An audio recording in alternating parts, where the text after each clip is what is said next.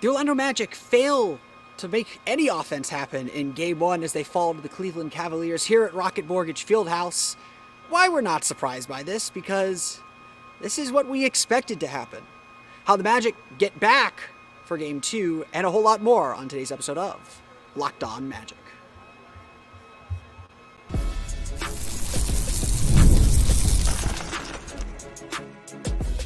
You are Locked On Magic, your daily Orlando Magic podcast, part of the Locked On Podcast Network.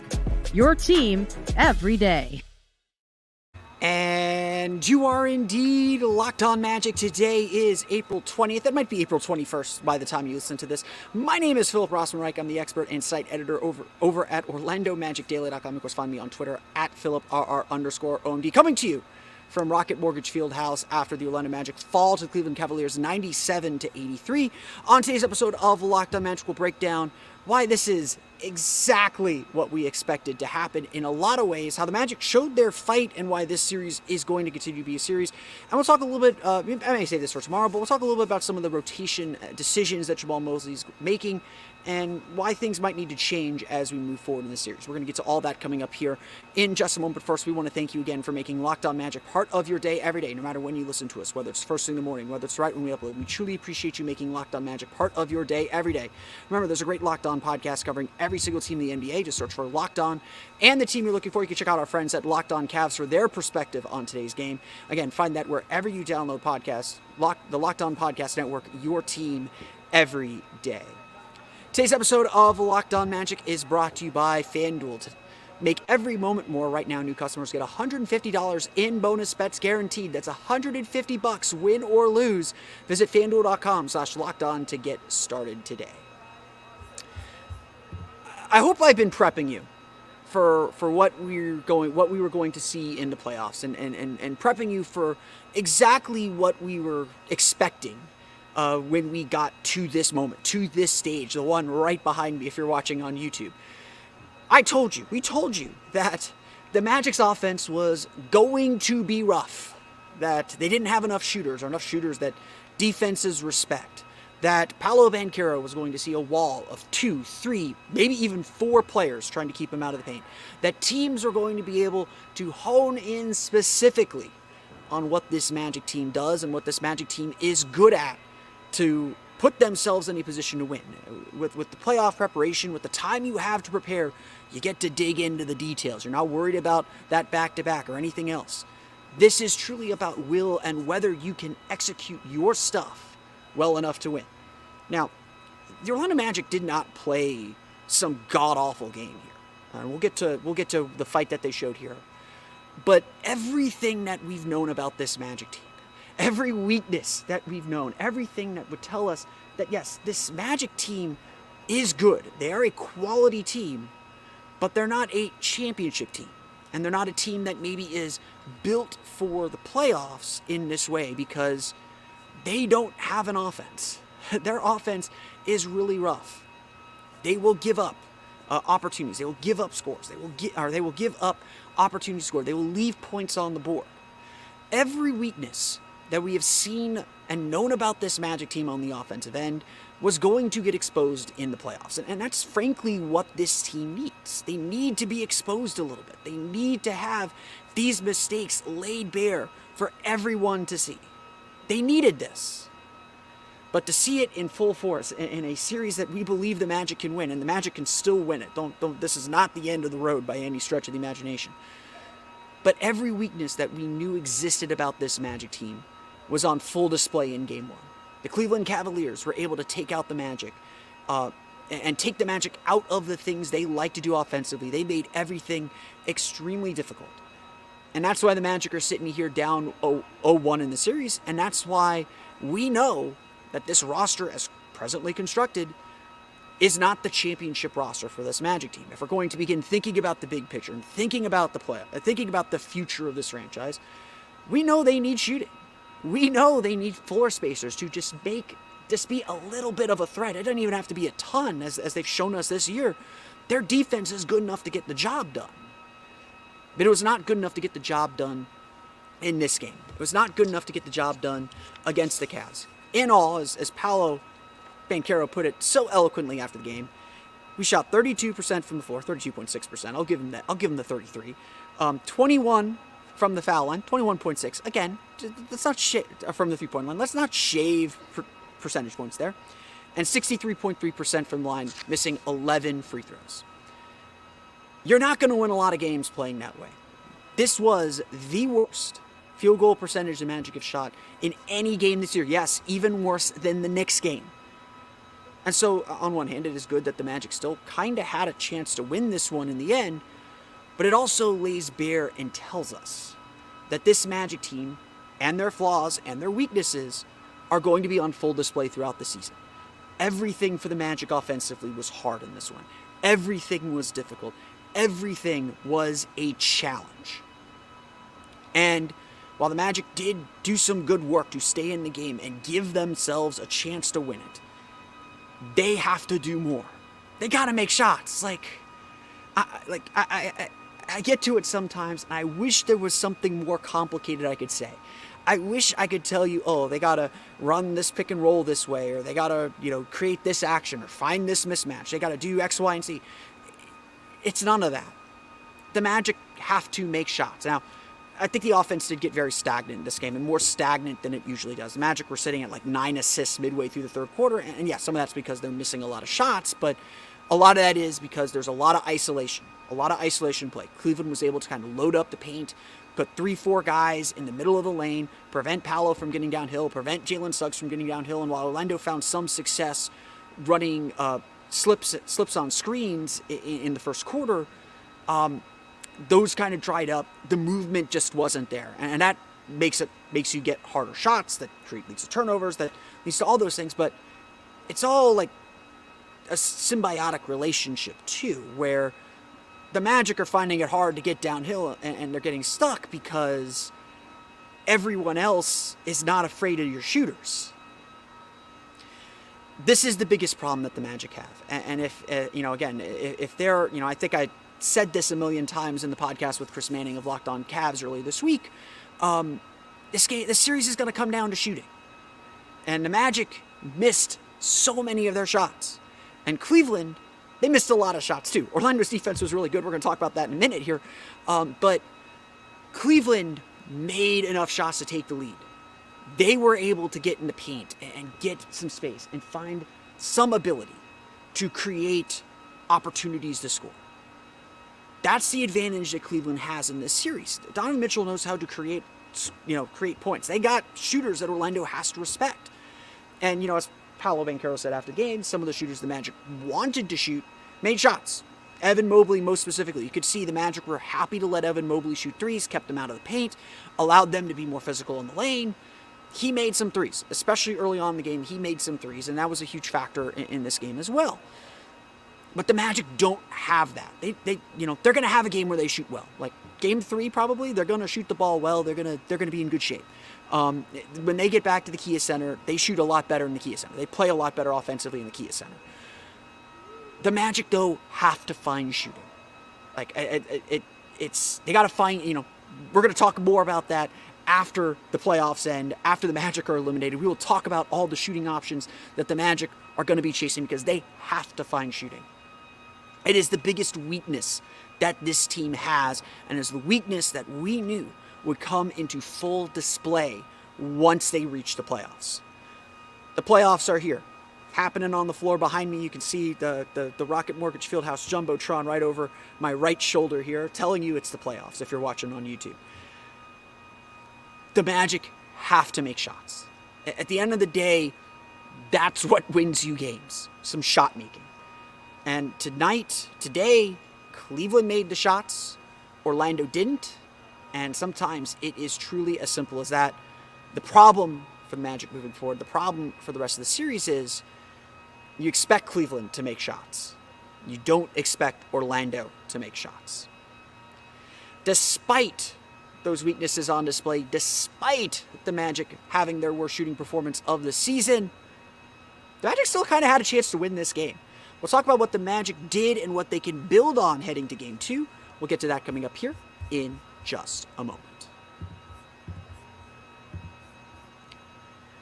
But first, it's time for a quick word from our friends over at Yahoo Finance. Let's get straight to the point. You want to grow your portfolio to deal with the rising cost of inflation, to pay off your debt or your mortgage, pretty much anything standing in the way of you and financial freedom, right?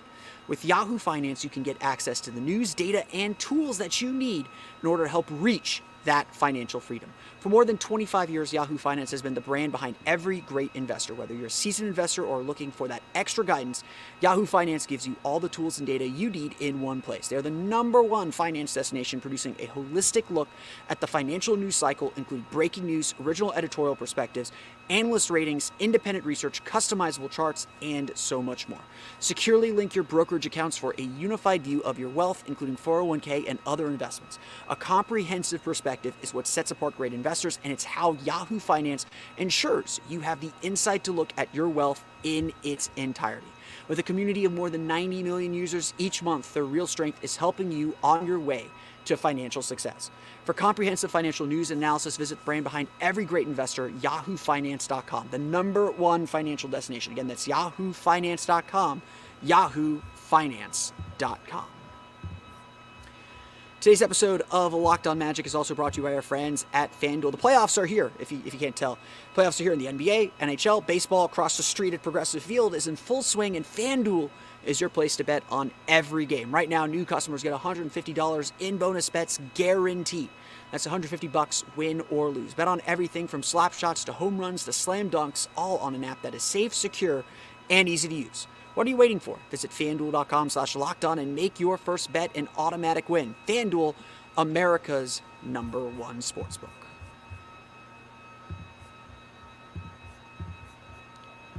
We want to thank you for making Locked On Magic part of your day every day for the best coverage of the entire NBA playoffs. You want to check out the Locked On Sports Today 24 7 streaming channel. It's a free 24 7 streaming channel programmed to you every day to bring you the biggest stories without all the screaming that you get from the national networks. You get the expert analysis, people like me who follow their teams religiously and know them inside and out.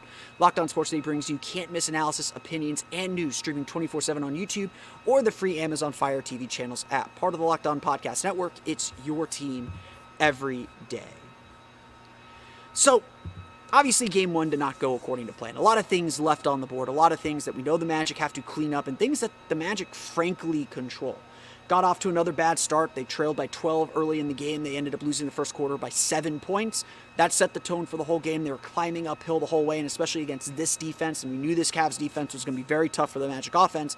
Against this defense, it's very tough for them to climb back up that hill. So Orlando was climbing uphill. Cleveland led the whole way through.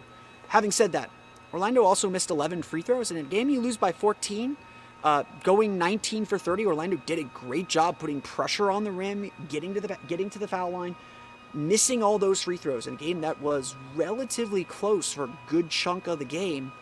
That kills you. It's it's momentum. It's not necessarily like oh, if the Magic made 11 free throws, it's now a three point game. It's well, if the Magic had made, made these two free throws in the third quarter, now it's a three point game instead of a five point game. And now that run that happens off of that free throw doesn't happen. It's, it's a momentum thing as much as anything else. So, uh, again, a lot of things within the Magic's control. And, and so, if there is a bit of optimism, if there is a feeling among the Magic, and there's certainly that feeling after the game, if there's a feeling among the Magic that there, this series is still there for the taking, it's in that. It's in, yes, the Magic missed free throws, which is something they've done all year, by the way. Uh, still a major concern. Yes, the the Magic had their worst shooting game of the year. That's that's probably not going to happen again. I think it's more likely for that to happen again than maybe for Cleveland to miss 18 straight threes. But Orlando's defense stood tall. This was, you know, some people might be willing to say, "Oh, a 14 point loss in game one. That's that's not a good sign," and it is. Don't get me wrong. Magic got a lot of work, have their work cut out for them here.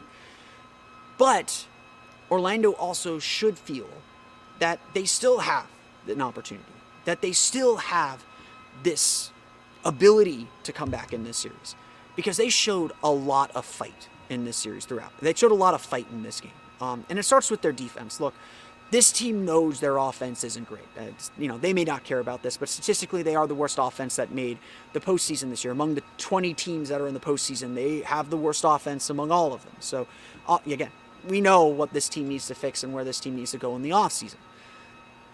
But Orlando knows that their butter is breaded on defense. They know that their defense is what's going to carry them forward and carry them through here throughout this series. And yes, they struggled early on. They gave up 33 points in that first quarter. Cleveland hit some tough shots. You know, they, they made some shots. They hit their first five threes of the game. Orlando shut them down the rest of the game. Like, it's pretty impressive that in a playoff game, the Magic held the Cavs to 40 points in the middle two quarters. In fact, they only had 64 points in the final three quarters. 64 points in three quarters. That's what, 21 points per quarter? That's going to win you basketball games. Now, we won't mention, but we will. The Magic only scored 32 points in those middle two quarters. They ended up winning the fourth quarter 25 24, so that wasn't necessarily a problem. They got a score to make good on their defense. I think it was, um, I think it was, uh, I remember seeing this on Twitter uh, from Seth Partnow that the Magic are wasting a great pitching performance because they they can't give the pitcher run support. And you know, it being baseball season, that is a great analogy for what the Magic did in this game. Having said that, trailing by as much as 15 in the first half, you know, down the entire game. Orlando was able to cut the deficit down to five in that third quarter. They they had a chance to take this game despite all the struggles that they've had. Cleveland is a good team, and Donovan Mitchell is a great player. He had a he had a really strong game in this one. He scored what? Uh, look up look up on my sheet here. 30 points. Um, uh, he scored 30 points in this game. Orlando, I thought, did a good job defensively, but he was able to kind of find space and get around guys and get to the basket. And, and that's going to be the challenge for the Magic's defenders now, is how to slow him down. But Orlando showed their fight. Their defense is here to play. Their defense is going to be able to stand tall. And more impressively, their defense played this well when their offense did not show up. To me, that is the sign of maturity because usually when you're when you're not making shots, it's easy for your defense to deflate. Even a team like the Magic, who've been good defensively all year, your defense de- tends to deflate when you're not hitting shots. Your your offense tends to kind of carry your mood and carry your momentum. And you know, Orlando's had games where that has been the case. There's had games where that's not been the case. In this moment, on this stage, in this environment, to still be on that grind, to still be uh, poised enough to keep at it, to stay in the game despite the shots that weren't falling, good looks that weren't falling, bad looks that weren't falling, frustration maybe with some of the physicality that they that took them a while to get used to. To stay in that, to me, that is a very encouraging sign. This team, they you know they may not win this series. We'll find out. We got we got a long way to go in this series. There's a long, long battle ahead, and no one in that locker room is panicking. If there's one thing one message that I can give you, well, I would say like, look, this, and, and I obviously spent 10 minutes talking about it, like this, this game showed us where the Magic's weak spots are and what they're going to need to improve to get to the level that they want to be at, and that's ultimately a championship level, but certainly a level where they're competing for home court advantage in the playoffs. So they can host a game one like this at the Kia Center where they're really good. Um, it also showed us that this team is really poised. Um, you know, they they told us after the game that they believe they are still on the right track, that they believe they are still doing all the right things, that they have put themselves in a position to win these games. And if they play the way defensively that they played in this game, because they were physical, they stone stonewalled Cleveland throughout the game. They they reached, they grabbed, you know, they got away with all the stuff you got to get away with in the playoffs. They forced turnovers, 18 turnovers for 19 points. That's going to be a big factor for them to find some offense if they can keep producing turnovers like that. Um, they put a lot of pressure on Cleveland, and and, after that initial shock uh, early in the game, Orlando's defense was really the one controlling things. Now. Orlando couldn't score, and, and that remains the issue. We're going to keep bouncing back to that over and over and over again Orlando's got to be able to score. They got to be able to make shots. They got to be able to create some space. But the Magic showed their fight. So, you know, yes, I'm going to sit here and tell you we know these flaws that the Magic have that they've got to improve on in the offseason. Flaws that are not present, that are not something you can fix on this roster. Like plain and simple. These are not problems you can fix on this roster. You know, Gary Harris has to make a shot. Like there's no one else. There's no one else that can do what he does and, and soak up the attention that he does as a shooter. Joe Ingles has got to make shots. Franz Wagner's got to make shots. Jalen Suggs has got to make shots. They got to make Cleveland be afraid of those shooters. That's that's that's the that's the battle of the series, and, and, and you know again, that's what it's all about because Orlando's defense is gonna do the job. there may be a bad defensive game coming down the road. That you know, it's a, it's a long series. You're allowed to make a few mistakes. Orlando's got one fewer mistake to make now than Cleveland. That's that's all this game is. Um, the Magic showed their fight. They showed they are not afraid of the stage. That they will perform on this stage. Um, they are they they you know I was honestly very very impressed of how they played in the playoffs and how they absorbed this pressure and absorbed all this to put themselves in a position to win. The Magic, though, just got to do it. It's about execution at this point. It's about results. And while the Magic showed their fight and showed their poise and showed their maturity, they got to find a way to get the ball in the basket more than Cleveland does if they want to win these games. And unfortunately, they did leave a lot of that on the table. We'll go through the final box score, talk a little bit about some of the coaching decisions. We'll maybe save some of those for tomorrow as well. We'll get to that coming up here in just a moment.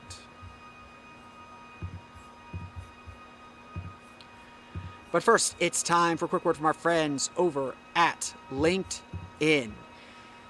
When you're hiring for your small business, you want to find quality professionals who are right for the role. That's why you have to check out LinkedIn Jobs. LinkedIn Jobs has the tools to help find the right professionals for your team faster and for free.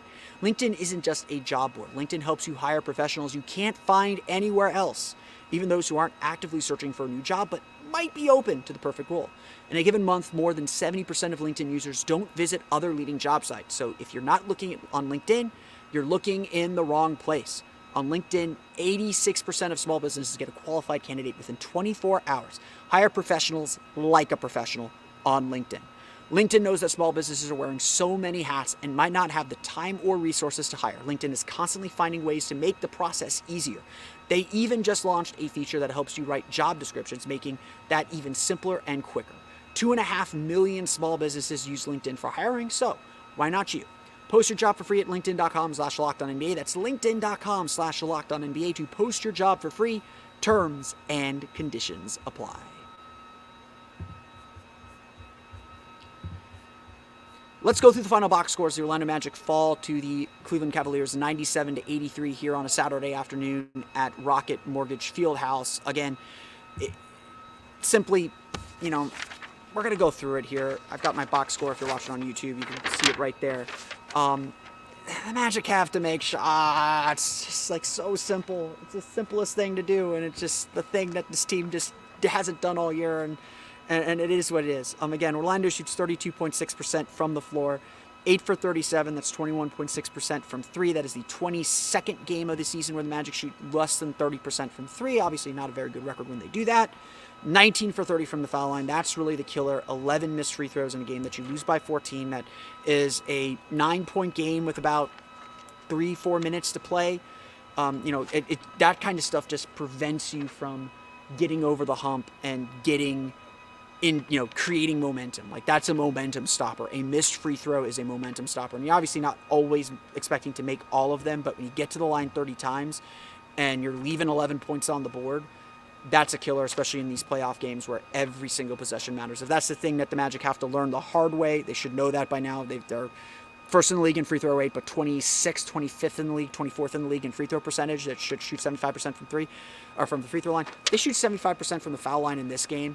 It's a completely different ball game. And so again, it's as much as we want to talk about the poor three-point shooting, the poor outside shooting, and, and even the poor paint shooting. Orlando was 18 for 40 in the paint for 36 points. Again, a lot of those turned into fouls and turned into free throws. Um, so again, got to win the paint. Magic didn't do that. Big factor in this game. Jarrett Allen played some great defense, especially early as the Magic were trying to just kind of test him out a little bit. I thought Evan Mobley played some great defense as well. Um, you know, Cleveland's a good defensive team, so it's not like we're expecting Orlando to be offensive juggernauts here, but they just got to be a little bit better than that. You know, averaging sub, averaging sub 0.75 points per possession on on half court offense as the lights dim on me here in Rocket Mortgage Fieldhouse is not so good. So let's run through these stats real fast for you. Um, Paolo Banchero leads the Magic with 24 points, 9 for 17 shooting. Absolutely love the way that he really loved the way that he played. He was aggressive. Uh, without being too aggressive at times, he was looking to get others involved, which explains five assists. It also explains nine turnovers, where you know that was a real struggle for him. Um, and and look, a lot of those were some of the ball just getting away from him a little bit. Cleveland was very good at trapping him and putting him into small spaces. He's got to tighten up that handle. Some of it was he was trying to make a play and the play wasn't there. You know, Cleveland again just does such a good job clogging the lane. Paolo was was in some really tight spaces and again just just a major struggle for them. Franz Wagner, 18 points, 7 for 15 shooting. He was three for his first 10 shots, though, really struggled through the first three quarters. That was somewhat expected with Mobley likely guarding him, but Franz has got to be a little bit more assertive looking for a shot. He, you know, he's trying to get to, to the lane again, just very few driving lanes for this Magic team throughout the course of the game. Um, that was a huge factor in this one. And again, Franz just couldn't quite get over the hump for him, just couldn't quite make things happen. He shot two for six from three. So again, you, you, we're going to go through these three point numbers. Just a lot of guys that the Magic need to have hit threes didn't make enough threes. And so maybe that flips game two, maybe that doesn't. Um, Jonathan Isaac, 10 points, got the surprise start in this one. We'll talk, I think we'll talk more about this tomorrow and some of the coaching decisions that Jamahl Mosley made. I, as much as I think it's really good to have as many Jonathan Isaac minutes as possible, he did not have a good defensive game in this one. Um, he was trying to chase blocks, uh, and again, they got the Magic a little bit into into scramble mode, and, and, that put them in some bad spots and put Isaac in compromising spots. He was chasing blocks instead of just being a presence, being big, waiting for the guard to recover, and staying in contact with Jarrett Allen. A lot of dump downs to the dunker spot, to Allen, to Mobley. Just a, a really tough game on that front. Um, I Wendell Carter was not a factor in this game either, so I don't think he's necessarily the answer.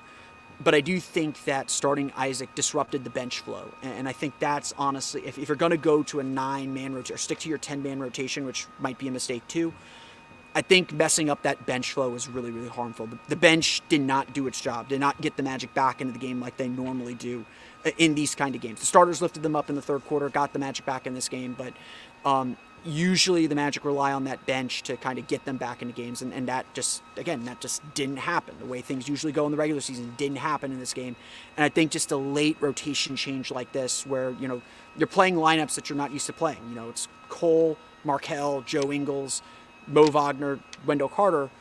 I think you're. I, I, I don't think those lineups mesh well, and I think I think you you know again the, the motto for this week has been do what you do, but do it better I don't think you're necessarily putting the Magic in a position to do things better um, with that bench group. I, I think we'll we'll we'll, ta- we'll, chat a little bit more about some of the coaching decisions Jamahl Mosley made. I think on tomorrow's episode, I want to stick a little bit more to the box score here. Um, just preview my thoughts on that. I, you know, maybe it'll work. I, you know, I think I think they'll review the tape and figure out if that's something to, to work on and something that needs to be adjusted. But I my preference would be I think going back to Wendell Carter at center, and it's not so much the Jarrett Allen thing that I was initially concerned about. Um, you know, with Isaac guarding Allen in the post a little bit more, but I, I, just think it just balances the balances the team a little bit better, and I think that's more important because again, the bench is a major advantage of Magic Capital. Orlando only outscored Cleveland 18 to 14 off the bench. You know, you look at the bench scores: uh, Joe Ingles 0 for 2, Wendell Carter 1 for 3, Cole Anthony 0 for 7, Markelle Fultz 0 for 4. Mo Wagner, four for eight, 10 points. Mo Wagner brought some really good energy, especially that second quarter when he got under uh, some Cavs players' skin. Um, but again, just the bench just wasn't what it usually is for this team, and that's that's a really big factor in this series, especially if the Magic are going to stick to a 10-man rotation and, and not kind of stretch uh, Paolo and Franz's minutes a little bit. You know, Paolo played 41-15, so he's playing playoff minutes now. Franz played 37 and a half. They're they're playing playoff minutes now, so so those guys are going to get their time. But you know, we had a two three minute stretch where neither of them were on the floor. That that simply can't happen anymore. Jalen Suggs 13 points, 4 for 16 shooting, 1 for 7 from 3. A tough shooting day for him. If he shoots a little bit better, this game's very different. Um, so again, it's just about making shots. You know, you know, Paolo Banchero said it after the game. You know, some of the guys that the Magic wanted to make to take threes made their threes. Some of the and the, the guys the Magic needed to make their threes didn't make their threes. If that's the difference in the game, you can live with that. As I am now completely in the dark here on YouTube, so I will close things out. The Orlando Magic fall to the Cleveland Cavaliers 97 to 83 from a darkened Rocket Mortgage Fieldhouse. I want to thank you all for joining me for today's episode of Locked On Magic. Of course, find me on Twitter at PhilipRR underscore OMD. Subscribe to the podcast and Apple Podcasts, Stitcher, TuneIn, Himalaya, Google Play, Spotify, Audacy, and all of the Signal podcasts to your podcast enabled listening device. For the latest on the Orlando Magic, be sure to check out OrlandoMagicDaily.com. You can find us there on Twitter at O Magic Daily. And be sure to check out my Patreon page, Your Orlando Magic Hub. I'm going to do a breakdown of plays from game one that I found interesting uh, and some things to look at as we prepare for game two. You can find that at patreon.com slash Orlando Magic Hub. And as always, thank you for your support. From a darkened Rocket Mortgage Fieldhouse, that's going to do it for me today. From Game 1 for Orlando Magic Daily and Locked On Magic, this has been Philip Rossman Reich. We will see you all again tomorrow for another episode of Locked On Magic.